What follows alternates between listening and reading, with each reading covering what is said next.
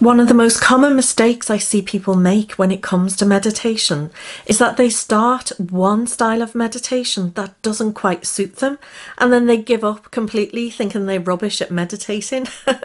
but by the end of this video, you will see that there are so many different styles of meditation. There's something to suit everybody. So boop that like button and let's dive in. Hiya lovely, I'm Shirley from Sacred Huntress and I help people to explore healing, well-being and spiritual purpose. Now meditation has so many different healing benefits, I'm so glad that you're here. And if you missed it, I explained the benefits of meditation in a different video which I'll put a link to in the description box below. But these um, different techniques that I'm going to speak about today come from nearly 30 years of experience of meditating myself. I first started meditating when I was um, introduced to it at the age of 18 by a spiritualist medium. And in the meantime, I've had the pleasure of meditating with Buddhist monks, with Zen priests and lineage holders a Christian vicar as well, a fellow sound therapists and Reiki masters, and Quakers, as well as Hare Krishna devotees. Now, um, I'm sure there are others that I haven't thought of, but they're the ones that came to mind. But hopefully you'll realize by the end of this video that there are so many different styles and I'll invite you to pay close attention to whichever style actually resonates most strongly with you and maybe give that a try. So the first meditation technique is the body scan technique. And what this involves is quieting your, your mind and obviously being still, usually laying down on the floor. Or you can do it sitting up in a chair as well. But a body scan is basically focusing your conscious mind on different parts of your body and progressively relaxing them.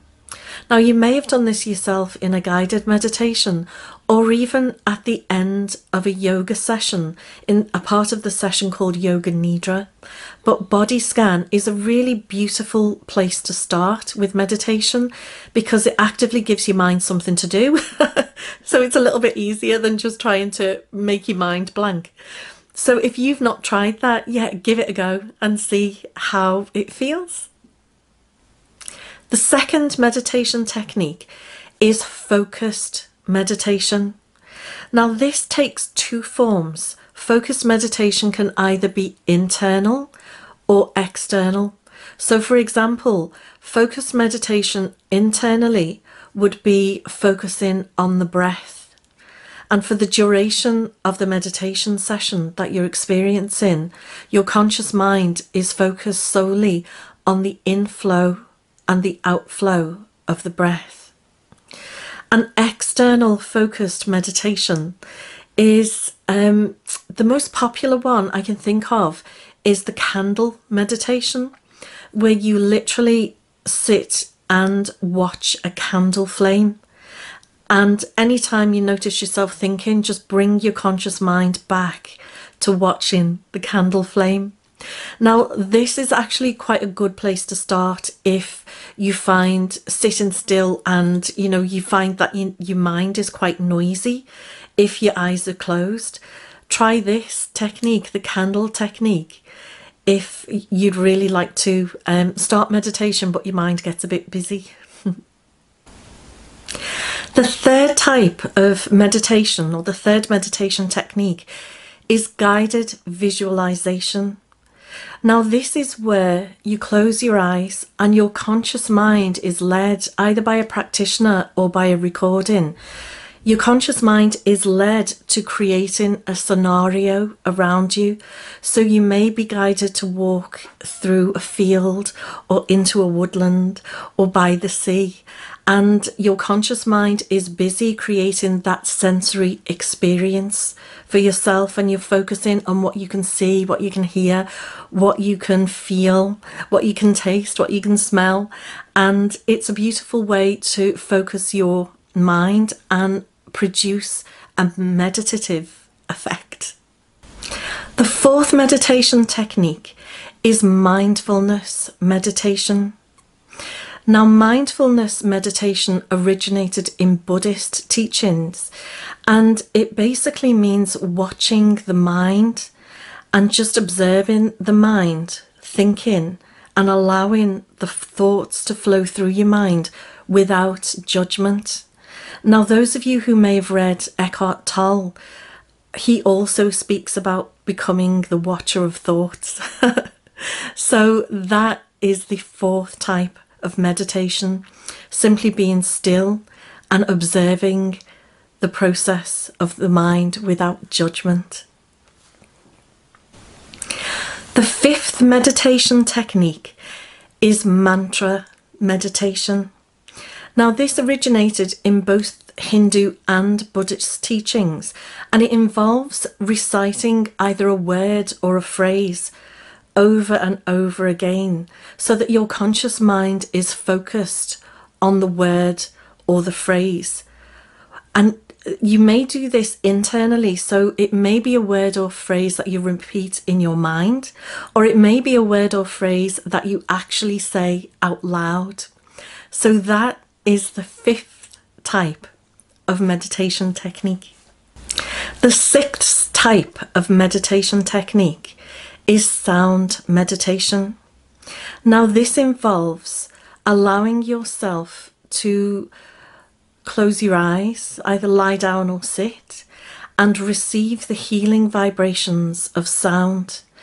Now, you may do this one to one, or more commonly, people do this with a sound therapist in a sound bath, where you just relax and allow the sound to relax you as you lay there and simply focus on how beautiful the sound and the healing vibration is. The seventh type of meditation, or the seventh meditation technique, is moving meditation.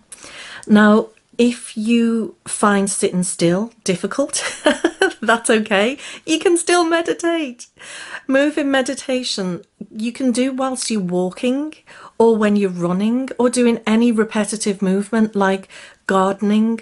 Some people might be it might be knitting or crocheting Colouring is has also become quite popular recently, so it's something that focuses the conscious mind on the movement, on that rhythmic, repetitive movement that produces a meditative effect. It's really difficult to say that word, meditative, but it, you know, a, a meditation effect. Maybe I should have said that. and incidentally, moving meditation is really good if you struggle with anxiety. If you know, sitting still, I, I manage anxiety myself, so I really do empathize. Managing anxiety by sitting still and closing your eyes is not helpful sometimes. And so, if you do have anxiety, moving meditation might actually be the best place for you to start, especially if you're having a panic attack. Now, obviously, you know, you follow your healthcare provider's advice, but it's beautiful and it's also really empowering to know that there is something that you can do within your control at times when we can feel so out of control. So, just because you have anxiety doesn't mean that meditation isn't for you, it can actually be incredibly helpful. So, sweet souls, which of these meditation techniques do you find most appealing? Let me know in the comments below. Were there any techniques that surprised you and thought, I didn't know that was meditation? Let me know in the comments below and I'll really look forward to hearing what you think. I have an invitation for you. If you'd like to meditate live for free with me or even on the replays, I actually hold a weekly meditation session within my group called Soul Sessions. We've, at the time of recording this, we're just over around 40 sessions, 40 weekly sessions, and it involves um, a breath meditation, a guided relaxation, so a body scan meditation, and also either a guided visualization at the end or a guided meditation at the end as well. So if you're interested in that, my group's called Sacred Huntress Tribe, and you'll find the link in the description box below. Give it a whirl. So if you're exploring well-being and your spiritual journey, then hit subscribe and ding the bell to be notified by YouTube every time I release a new video. Meditation has so many benefits. Just give it a go.